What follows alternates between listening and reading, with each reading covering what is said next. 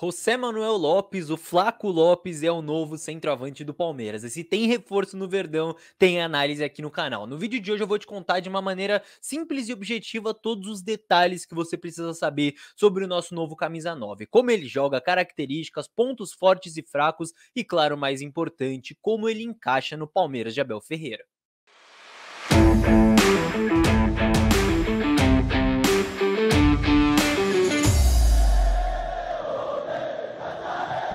Salve, salve você que acompanha a Análise Verdão aqui no YouTube. Meu nome é Leonardo Suzuki. Sejam muito bem-vindos a mais um vídeo para falar de mais uma contratação. Sim, recentemente teve vídeo sobre o Merentiel, agora tem mais um 9 chegando, o José Manuel Lopes, o Flaco Lopes. Vocês sabem, sempre que tem reforço no Palmeiras, tem vídeo aqui no canal falando todos os detalhes sobre o jogador. Tem até playlist aqui no canal falando sobre todos os outros reforços que chegaram, se você quiser conferir depois. Se você tá chegando por agora, inclusive, eu te peço para se inscrever aqui, porque tem análise de reforço, análise individual, análise análise coletiva do Palmeiras, análise de adversários do Palmeiras, de pontos fracos dos nossos adversários. Então, se você é novo por aqui, por favor, inscreva-se. Estamos quase batendo 50 mil. Tenho certeza que você vai gostar do conteúdo. E claro, se você já é da casa, já chega dando seu likezinho para esse vídeo chegar cada vez mais palmeirense, certo? E a gente já vai para análise, mas fica até o final que eu tenho uma novidade muito bacana para todos vocês. Então vamos lá, sem enrolações. O José Lopes, né, um centroavante de 21 anos que tem 1,88, então ele é um cara bem alto, mas ele não é um cara pesadão, né? Aquele cara que só fica usando a força física. Para a altura dele, eu diria que ele é até um cara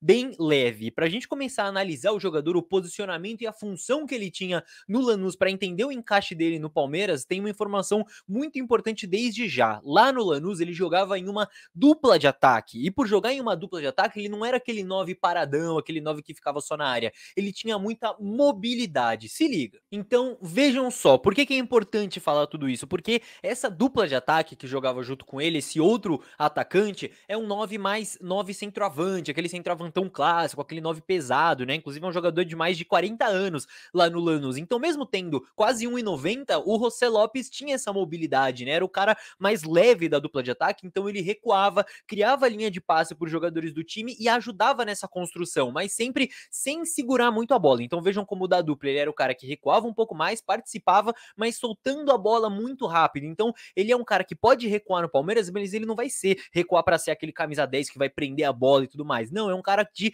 jogar rápido. Então vejam só mais uma vez a dupla de ataque, o outro 9, o outro centroavante sempre mais próximo da linha do zagueiro, certo? Correndo mais para frente, o Lopes segurando um pouco mais, buscando esse espaço nas costas dos volantes para criar uma linha de passe, mas sempre, ó, resolvendo com um toque. Então ele não prende muito a bola, ele dá o apoio, ele dá a linha de passe, resolve ali e já volta para a dupla de ataque, já volta ali para referência. Então ele não é um cara, ele não é um meia, ele é um centroavante que nessa função no Lanús ele podia ter uma mobilidade para ajudar o time a construir.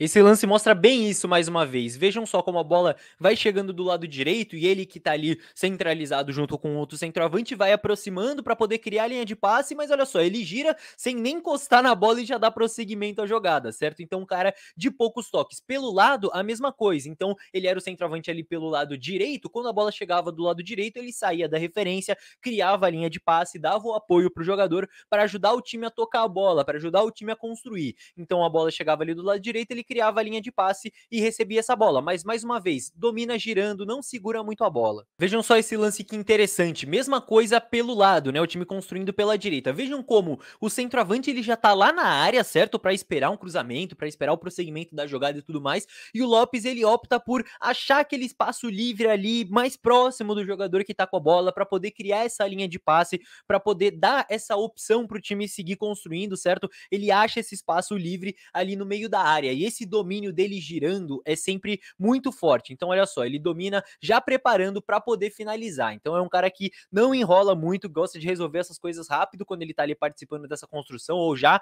numa zona de finalização e sempre com esse domínio já girando o corpo. O único caso em que ele de fato vai poder conduzir a bola, vai carregar a bola, é quando tiver muito espaço para conduzir, como é nessa jogada aí, por exemplo. E aí eu tenho que, que colocar um ponto aqui também, que as defesas na Argentina saíam muito mais esse espaço muito livre do que saem aqui no Brasil, né? Não falando que as defesas aqui dos times no Brasil sejam uma maravilha, mas são defesas mais organizadas do que no futebol argentino. Então, às vezes, surgia esse grande espaço para ele conduzir. E aí sim, ele conduz e bate de perna esquerda cruzado para marcar. E aí a gente já começa a entender um pouco mais as características dele, de ser de fato um camisa 9, ele é um centroavante, tá? Ele não é um ponta ou nada, ele é sim um atacante, um centroavante, mas que no Lanús tinha essa função de segundo atacante, de um cara que volta um pouco mais, mesmo tendo toda essa altura, mas sem ser um cara que segura muito a bola sempre, só criando a linha de passe para dar esse apoio, para fazer um pivô, certo? Então às vezes o jogador tocava, ele devolvia ali no espaço à frente, sempre fazendo esse tipo de jogada, mas eu ainda não falei do ponto mais forte dele, que é a bola aérea, o cabeceio. E eu começo com um dado. Em 2022, o Lopes está com 48% de aproveitamento nos duelos aéreos, certo? Ou seja, ganhou quase metade aí dos duelos aéreos que ele disputou. E para vocês terem uma noção do que significa esse número, vou trazer um comparativo com outros centroavantes do futebol brasileiro. O Caleri, por exemplo, do São Paulo, que é esse 9 mais fixo, né, esse 9 de área, tem um aproveitamento de 46% nos duelos aéreos. Então próximo do Lopes, mas um pouco abaixo. O Hulk, para pegar outro exemplo, que não é esse 9 característico, né? Esse 9 fixo, mas joga ali centralizado no ataque do Galo, tem um aproveitamento de 38%. Então, bastante abaixo. Mas é mais interessante ainda a gente comparar com os atacantes do próprio Palmeiras. O Rony, que não é um centroavante de característica, né? Ele tem que jogar ali quando precisa e precisa muitas vezes, tem um aproveitamento de 24%. Então, olha como abaixa ainda mais. E o Navarro, que já é um centroavante um pouco mais característico, tem um aproveitamento de 29% nesse Campeonato Brasileiro. Então, olha como todos muito abaixo do Lopes. E se você ficou curioso com o Merentiel, que é o outro atacante que tá chegando no Palmeiras, nesse Campeonato Argentino de 2022, ele tem um aproveitamento de 21% nos duelos aéreos. Então, vejam só como todos bem abaixo aí do Lopes com 48%. Mas claro, você que já viu lances do jogador aí no YouTube, já viu até a altura dele, né, que é 1,88, você já entendeu que ele é um cara que tem um bom cabeceio, que tem uma boa jogada aérea, você já viu pessoal, muita gente falando por aí. Mas tem um detalhe muito importante que eu preciso abordar nesse vídeo aqui, talvez você não tenha visto por aí, que é a maneira com que ele cabeceia e principalmente a maneira com que ele se posiciona, com que ele se movimenta dentro da área, porque a ideia do José Lopes para finalizar esse tipo de jogada não é simplesmente disputar a bola com o zagueiro, é chegar atacando a bola, chegar de trás, chegar em movimento para poder ter essa vantagem em relação ao zagueiro. Eu te explico. Então vejam só que interessante. A bola vai chegar do lado, vai poder ser criada uma situação de cruzamento e vejam só como o outro camisa 9, ele se posiciona um pouco mais à frente, próximo dos zagueiros, e o Lopes, ele opta por se posicionar um pouquinho mais atrás, certo? Não na mesma linha do outro centroavante. E por que isso? Porque quando surgiu a oportunidade do cruzamento, vejam só, o jogador abriu para cruzar, ele já tá pronto para atacar o espaço. Então ele não quer essa bola, ele não quer esse cruzamento exatamente onde ele ele quer esse cruzamento um pouco mais à frente para ele chegar cabeceando. Nesse lance, a bola acaba não chegando. O jogador opta por fazer uma inversão. Mas vejam só nesse lance acontecendo a mesma coisa. Olha como o camisa 9 ele tá disputando com o zagueiro ali, próximo da marca do pênalti, mais ou menos, não dá para ver direito, mas ele está ali. E o Lopes está onde? Um pouco mais atrás. Por quê? Porque ele já tá prevendo que vai atacar esse espaço. Ele não quer simplesmente pular, ele quer estar em movimento, certo? Para ter essa vantagem em relação ao zagueiro, para chegar já cabeceando. E é exatamente exatamente o que acontece. Vejam como ele sobe na frente do zagueiro, e aí, claro, a impulsão dele é muito boa, mas é muito interessante a gente aproveitar e a gente observar esse movimento. E não é só em jogada de linha de fundo com a bola rolando, é até em escanteio. Vejam só como o mesmo padrão se repete. Olha como tá. Tem muitos jogadores ali próximos da pequena área e onde o Lopes está posicionado mais atrás, mais próximo da marca do pênalti. Por quê? Eu vou colocar o zoom e vocês vão observar o movimento dele, ó. Ele se livra do marcador e corre em direção à bola. Então olha só, ele começou um pouco ali na linha da marca do pênalti na jogada e olha onde ele veio cabecear essa bola na pequena área disputando com o goleiro. E aí mais uma vez a impulsão dele contando muito, mas vejam como ele opta por ter essa movimentação para chegar atacando a bola. Isso é muito importante no jogo aéreo dele, por isso também é um jogo aéreo tão eficiente. Então esse é um detalhe que talvez seja um pouco menos falado, mas que é fundamental, porque vocês vão perceber que na grande maioria dos gols de cabeça dele, ele não tá simplesmente disputando, ele tá chegando em movimento, porque ele tinha essa liberdade para se movimentar dentro da área nessa equipe do Lanús. Então é importante que ele vindo pro Palmeiras, beleza, ele é um grande cabeceador, mas não é simplesmente isso, sabe? É importante que ele tenha essa liberdade para poder se movimentar, para poder chegar atacando a bola e não simplesmente que ele receba a bola em cima. E um outro detalhe interessante que a gente observou nos lances é que essa altura dele, esse bom cabeceio dele, pode ser proveitoso pro resto do time também. E eu te explico por quê. Muitas vezes no escanteio, ele, por ser um cara alto e tudo mais, acaba atraindo a atenção de mais de um marcador do time adversário, ou de um bom cabeceador do time adversário. E isso pode liberar espaço para outros grandes cabeceadores que o Palmeiras tem, como Gustavo Gomes, como Murilo e tudo mais. E claro, essa habilidade de desmarque dele dentro da área é muito boa pro cabeceio, mas pode ser boa também para finalizar uma jogada que vem rasteira rasteira, veja só. Então vejam como nesse lance ele tá ali posicionado dentro da área, certo? E vejam só como ele vai dar o gato no zagueiro, ele vem para frente e depois corre para trás para receber essa bola sozinho na pequena área, então o desmarque funcionando também na jogada pelo chão. Então vejam só, tudo que eu mostrei para vocês até agora são algumas características, algumas funções dele no momento ofensivo do Lanús, mas e no momento defensivo? O jogador precisa ajudar quando o time tá sem a bola também. Será que o Lopes contribui nesse cenário? Vejam só, no momento defensivo do Ele tinha duas funções principais. Ele basicamente tinha essas duas funções. Ou ele encaixava no volante, então vejam só no círculo amarelo como ele encaixava nesse primeiro volante na saída de bola, ou ele ia pressionar os zagueiros, porque o Lanús tinha essa dupla de ataque, aí um jogador encaixava no volante e o outro pressionava os zagueiros. Então vejam só, ele aponta para o outro centroavante ali ficar no volante e ele vai pressionar os zagueiros. Então essa, eram essas duas funções. Observem como a jogada vai prosseguindo e ele finaliza essa jogada, né, esse lance juntamente do volante mais uma vez. Então essas eram as duas grandes funções dele. Aí eu vou colocar alguns lances também dele pressionando e tendo êxito na pressão. Então vejam só no volante, ele saindo em cima do volante, ele vai conseguir recuperar essa bola. No próximo lance também ele vai conseguir forçar um chutão do goleiro nesse mesmo jogo. E assim, ele é um cara disciplinado no momento defensivo, ele consegue cumprir função, mas assim, não é nenhum gênio da pressão também, ele não é um Rony, ele não pressiona que nem o Rony. Então ele pode evoluir nessa questão da intensidade também. Ele é um cara disciplinado, mas também nada extraordinário. Mas uma coisa que ajuda ele às vezes, né, por ele não ter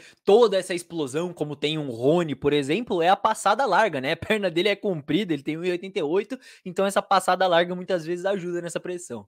Então, muito bem, gente. Eu mostrei muitos lances para vocês, passei muita informação nesses últimos minutos. Então, calma, vamos respirar e vamos amarrar isso tudo, certo? Porque eu falei aqui dos pontos fortes dele, das características dele, mas claro, ele não é um jogador perfeito. Ele tem só 21 anos, essa é só a segunda temporada que ele tá jogando regularmente lá no Lanús, na equipe profissional, certo? Então, tem muitas coisas que ele pode evoluir, que ele deve evoluir ao longo do tempo. Uma delas é a tomada de decisão. Então, muitas vezes ele acaba se precipitando ali no momento de tomar a decisão quando ele está com a bola, certo? E isso ele vai ter que evoluir com o tempo. Outra questão é o nível de enfrentamento. É muito importante eu colocar aqui a questão do contexto, certo? Todos os lances que eu mostrei aqui para vocês foram na Liga Argentina. E a Liga Argentina, ela não é uma liga em nível de intensidade como, sei lá, dos Estados Unidos, que é uma intensidade muito abaixo, mas também não é do nível da Liga Brasileira.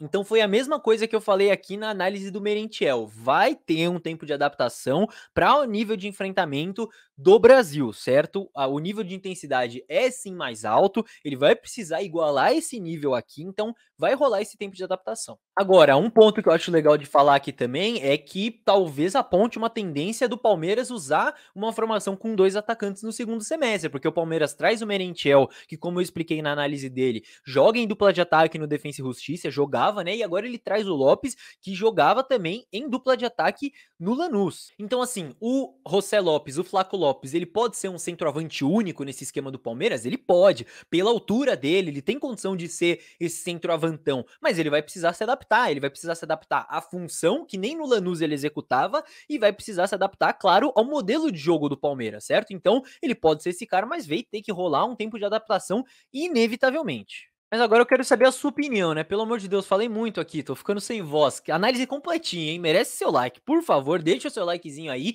Não sai ainda que eu tenho um recado importantíssimo para você, mas antes, deixa o seu like se você chegou até aqui. Esse vídeo merece o seu joinha, certo? E também, por favor, se você é novo por aqui, inscreva-se. Sempre chega muita gente nova por aqui através desses vídeos de análise de contratação. Eu sempre faço as análises quando chega jogador, quando tem jogo importante, eu faço análise do adversário. Toda semana tem análise individual dos jogadores do Palmeiras, coletiva também. Então, pô, inscreva-se aí, manda o link do canal para seus amigos, não custa nada, ajuda muito o nosso trabalho. E agora sim, uma novidade importantíssima. Você que seguiu a Análise Verdão em outras redes, né? Para quem não sabe, a gente não tá só aqui no YouTube, tá em outras redes também. Não sei se você percebeu, mas há uns tempos atrás o nosso Instagram caiu por causa de um direito autoral ali, de um lance que a gente colocou numa análise, caiu por direito autoral, enfim. Lutamos muito, não conseguimos recuperar e agora abrimos uma nova conta no Instagram. Agora estamos no arroba análise.verdão no Instagram. Então, se você aí tem Instagram, siga o Análise Verdão, certo? É só digitar análise.verdão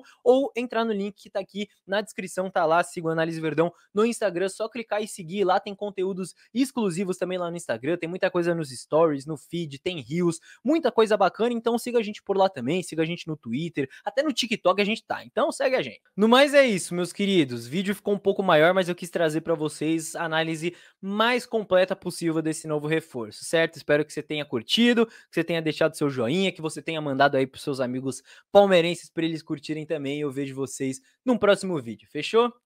Tchau, tchau.